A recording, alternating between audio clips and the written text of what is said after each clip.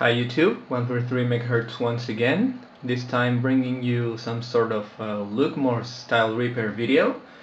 Uh, this is a TI-83 Plus graphing calculator I got recently from a thrift store for about 5 bucks.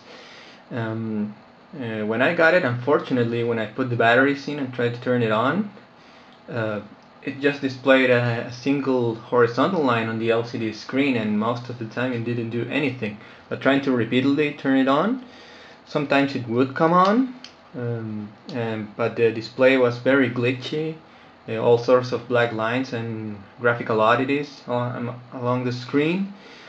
But uh, the calculator itself, I mean the, the computer, the operating system that runs on it seemed to run fine, just seemed to have uh, dis display problems. So I tried to search the internet for, you know, the cause of the problem and a method of repair, but I couldn't find anything about this, this sort of failure that this calculator had. So I'm going to see if I can repair it on my own. Okay, so I got it on. Got it on and working now, sort of. Took me about five minutes to get it powered up. It's really finicky and you can see how severe the display glitching is. Source all sorts of graphical oddities. I'll try to enter the memory menu. You can see it's all garbled.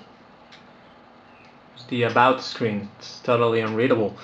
But aside from that the calculator seems to work fine. You know the operating system and stuff. Here's the back of it. I'm feeding 6 volts straight from that battery pack into the battery terminals. Here's the Z80 CPU, this is the flash ROM, this is the RAM, this is a proprietary TI ASIC, and here's the display module. Hmm. I'm going to do the mode. What?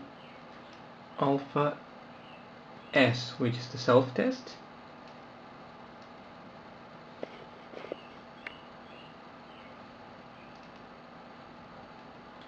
Sometimes it's better, sometimes it's worse. Here's the display test. This pattern is supposed to fill up the entire screen. All pixels on, all pixels off.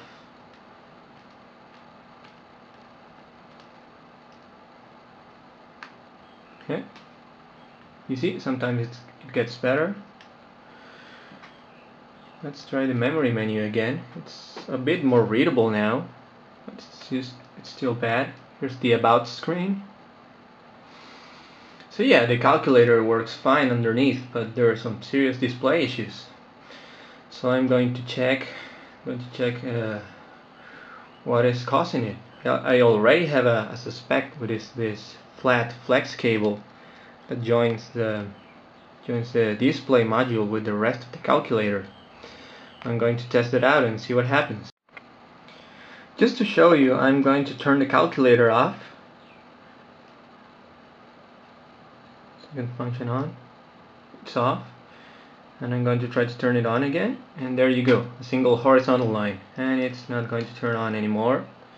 Unless I start fiddling with it, you know, pressing off and on repeatedly, taking out the batteries, replacing them. Sometimes it comes on. Takes a good while. So yeah, Okay, so after checking the operating voltage of the calculator and seeing that it was correct, my prime suspect is this flex cable communicating the motherboard with the display module. I'm going to test continuity between some of its pins.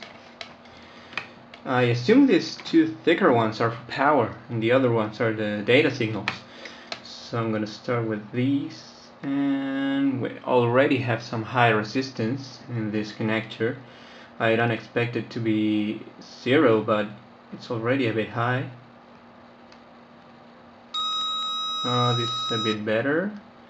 One of the data. That's definitely bad I think.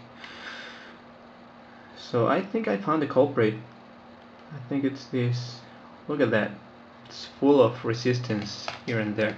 I'm going to try pushing it a bit see if I can get it to make a bit more contact let's see if I alter the values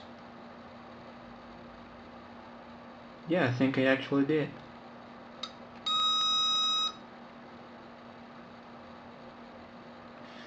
So yeah, I'm going to try replacing this flat flex connector and see what happens. Actually, considering that it's got a, a relatively few pins and it doesn't travel much when the display module is in, in place in the calculator, I'm going to rip this whole thing apart and replace the thicker traces with this uh, stranded wire and replace the thinner ones with Kynar wire. So let's see what happens ripping the flat flex cable from the motherboard.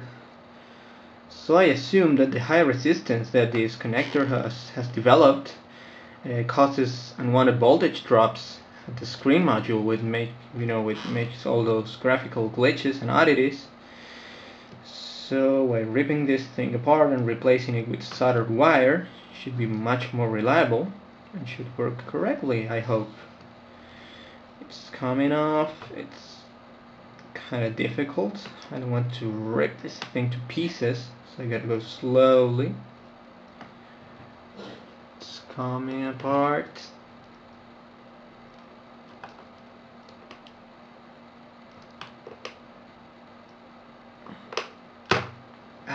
There we go. Now to clean this crap and solder some wires to it. So here's the crappy flex cable completely off As you can see I have cleaned the, the contacts the gooey mess that the flex left on the contacts with uh, with uh, q-tips and alcohol so it's ready for soldering I'm going to use thick stuff for the two power wires and the thin kind of stuff for the signal wires. So after about 30 minutes this is how it turned out. Thin Kynar strips for the signal lines and thick wire for the power lines. So I have hooked it up.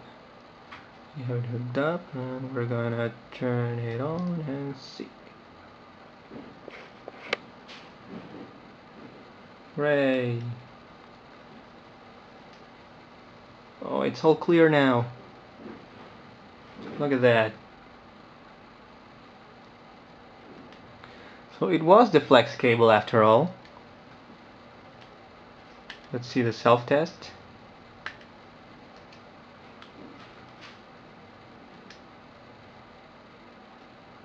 Do the display test. Yeah, it's all perfect now.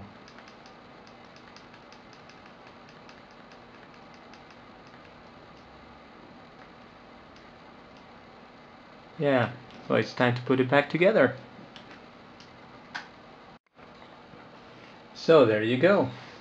For me, a nice TI-83 Plus graphing calculator for 5 bucks, great score. And now you know, if your if your TI calculator starts displaying glitchy graphics and all sorts of graphical oddities, check the flex cable. It's a good chance that it has it has gone bad, and just rip it out and solder wires into place. It, it's not difficult to solder 17 wires, so you can have your calculator going back again. So thanks for watching. Take care.